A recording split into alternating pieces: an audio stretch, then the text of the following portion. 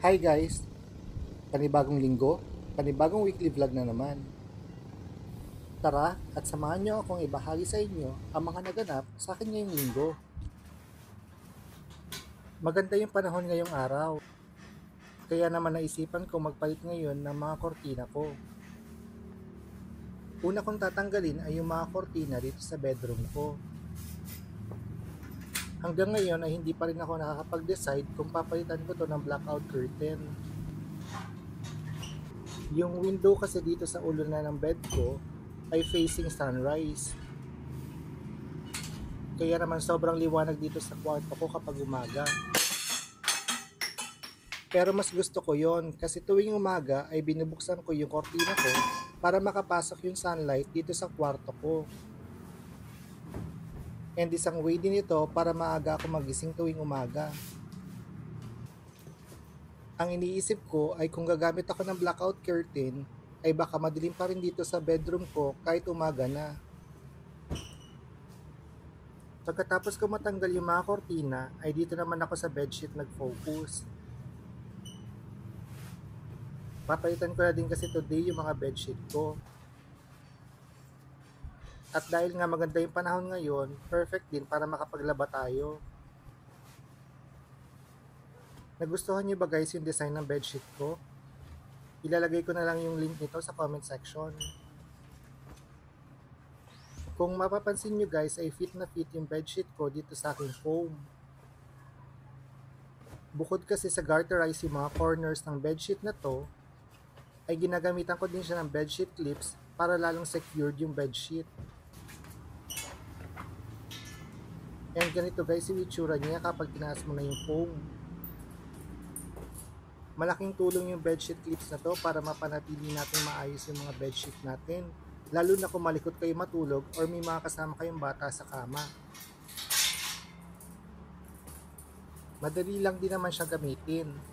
Garterize yung material na ginamit nila dito and clip-on lang siya dun sa bedsheet mismo para hindi matanggal. Nag-vacuum din ako dito after ko tanggalin yung bedsheet pero hindi ko na siya nag-videohan. Nalobat na kasi yung cellphone na ginagamit ko pang capture ng video. After ko matanggal yung bedsheet, ay dito naman ako sa living room nag-focus. Papalitan ko na din kasi yung cortina dito sa living room. And guys, may two sets ako na sage color curtain para dito sa sala ko. So kahit tanggalin ko siya at labhan, ay meron pa rin kagad ako pwedeng ipalit dito. Itong curtain na to ay nabili ko lang sa SM Home. Tapos buy one take one ko pa siya nung nabili ko kaya sulit na sulit na to sa akin. Dito sa living room ko ay ginagamitan ko siya ng blackout curtain. Nakatutok kasi dito yung afternoon sun and medyo mainit tuwing hapon. Kaya mas kailangan ko na mas makapal na kortina dito sa living room. Sinalang ko na sa washing machine yung tinanggal ko na curtain. At ngayon naman ay inaayos ko na dito sa curtain rod yung ipapalit kong kortina. By the way guys, yung curtain na to ay may parang mga clips dun sa likod na pwede mong ilock. Nakita ko sa Homebodies Facebook group na ginagamit yung mga lock na yon para mapanatiling equal or even yung mga pleats ng kortina.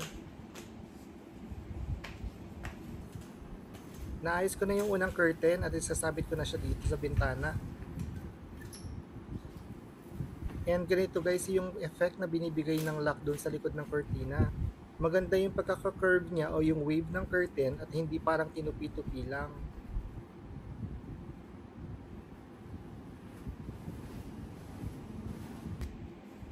After ko makabit yung unang kortina, ay nag-proceed naman ako dito sa pangalawang set ng curtains.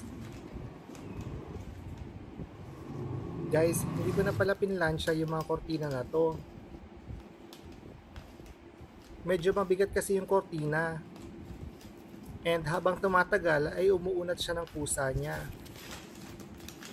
Pero para mas mapabilis ninyo yung pag-unat nito, ay sprayan nyo lang siya ng tubig. After ko to malagay sa curtain rod, ay sinabit ko na din siya.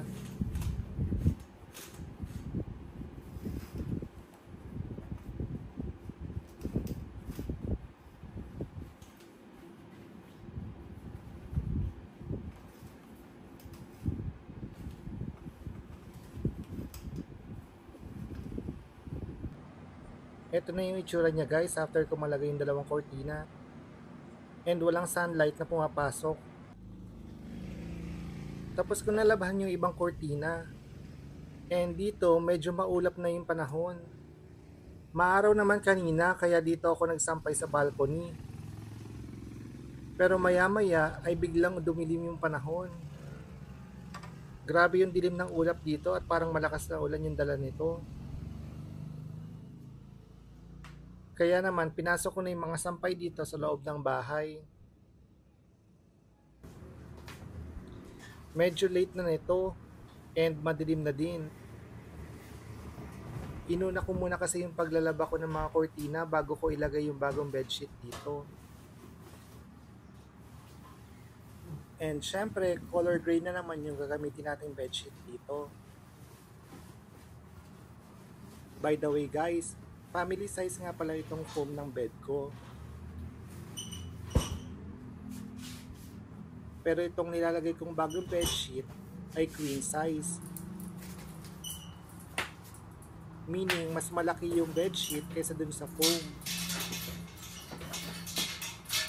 And sa ganitong sitwasyon, malaking tulong yung nagagawa ng mga bedsheet clips natin.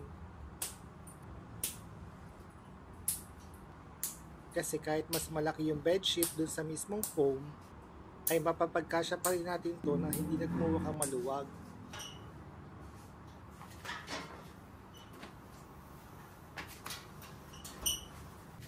Tingnan nyo guys, fitted na ulit yung bedsheet kahit mas malaki yung bedsheet dun sa mismong foam.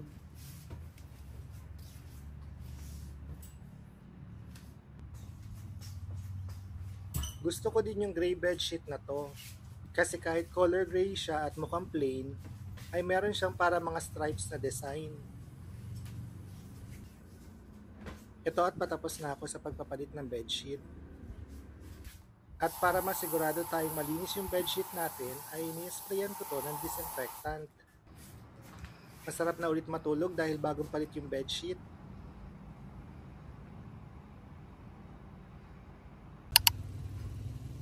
Kinabukasan ay medyo maulap yung panahon. Tuyo na rin yung kurtina na nilabahan ko kahapon. Kaya naman ikakabit ko na ulit siya dito sa aking bedroom. May ibang available pa akong kurtina pero mas gusto ko kasi itong ginagamit. Medyo plain kasi yung color ng bedroom ko dahil white lang ito. Kaya naman sa kortina ko binabawi para magkaroon naman ng ibang color dito sa loob ng bedroom ko.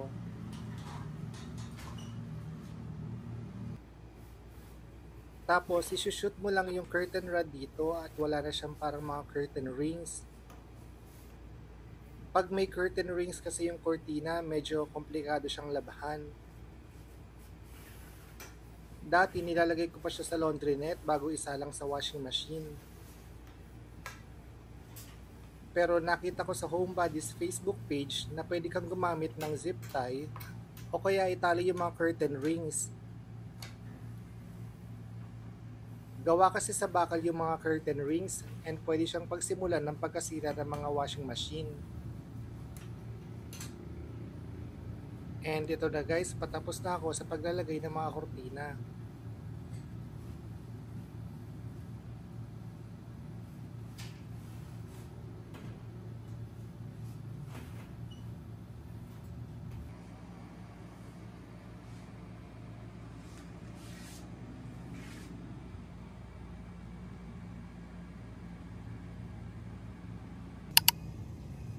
Panibagong araw na naman guys.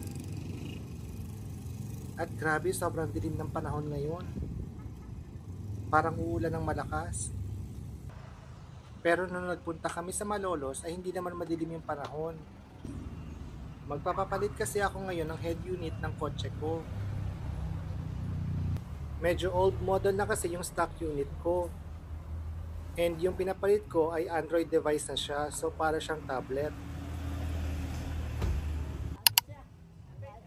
After na magpapalit ng head unit, ay nagpunta naman kami dito sa Pancake House and Teriyaki Boy dito sa Cabana sa Malolos, Bulacan. Tumawag kasi yung kapatid ni Daddy na si Tita Tessie na nakauwi na daw siya from Australia.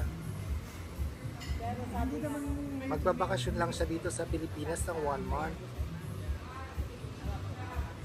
And ito yung mga in-order namin sa Pancake House and Teriyaki Boy. Umorder kami ng Caesar salad, grilled tuna, katsudon, daing na bangus, at tapsilog. Siyempre, picture taking muna. Tapos dumaan din kami dito sa Roslight Battery and Auto Supply. Kapatid din to ni Daddy, si Tita Henny. After namin dumaan sa Roslight, ay nagpunta naman kami dito sa bahay ni Tita Lita. Si Tita Lita ay kapatid din nila Daddy. And dito sa tapat ng bahay nila ay may malaki siyang garden. Tinutuon niya kami dito sa malaki niyang garden. And kitang-kita naman na tuwang-tuwa siya. Sinasahod ko pag umuulan, napupuno yan. Gusto nang halaman, ang tubig ulan. Oo. Naman nahugot na lahat yung ano. Sobrang daming halaman dito sa garden niya. Tapos, ito naman si Daddy, namimili ng mga halaman na iuwi niya. mahaba akong guting, wag na. Inaantay lang namin dumating dito si Tita Henny at si Tito Ross. Eh, Magsasarado pa kasi sila ng shop nila. And syempre, huwag kalimutan mag-picture taking for remembrance. Ito si Tito Maning, ang asawa ni Tita Lita. And maya-maya lang ay dumating na din si Tita Henny at si Tito Ross. Tapos, dito kami nagkayaan mag-dinner sa giligan sa Vista Mall Malolos. Ang plan talaga namin, kaya nagpunta kami dito sa Vista Mall Malolos, ay mag-dinner dun sa Hapchan. Kaya lang, nagkataon na sarado yung Hapchan today dahil may team building sila. And ito na yung three sisters plus si mami na sister-in-law nila. Ito naman yung mga in-order namin food. Roasted chicken, roast beef with gravy, Cute, cute. Ito may ruby. meron din kami beef bulalo, Anim. sweet and sour fish fillet, shrimp oriental, gilligan's fried rice, and sizzling tofu. And syempre, picture taking muna ng mga girls. Tama na eh. Tapos mga boys naman, si Tito Maning, Tito Ross, and si Daddy. Syempre, dapat kasama din ako sa picture taking. Hi, Ma. Hi. Mami. Hi. Talita.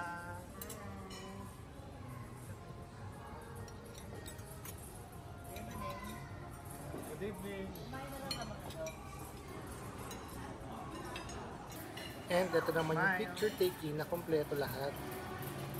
Bukod sa nabusog kaming lahat, ay tuwang-tuwa din sila sa pagpapwentuhan. Nakauwi na kami nito. Hindi pa na masyadong late ito, kaya naman may time pa ako para makapag-treadmill. Dapat natin i-burn yung mga kinain natin kanina. Para syempre makakain pa rin tayo at makapag-samgyupsal. Nagpe-prepare na din kasi ako. Sinali kasi ako ng mga pinsan ko sa marathon this coming end of October. And bukod sa marathon, number one pa rin yung mapanatili nating malusog yung ating pangangatawan. Grabe guys, tingnan nyo yung pinawis ko dito. Pero sobrang sarap pa rin sa pakiramdam pagkatapos ko mag-treadmill. Lalo na kapag nakikita ko nag improve yung statistics ko. Magpapahinga lang ako dito ng sandali tapos maliligo na din bago matulog.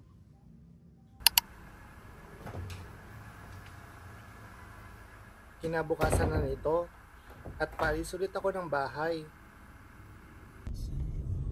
Maganda yung panahon ngayon.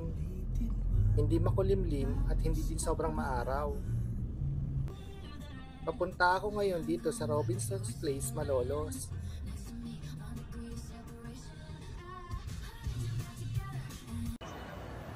Nagkaayaan kasi kami mag-lunch dito sa Sumo Nico.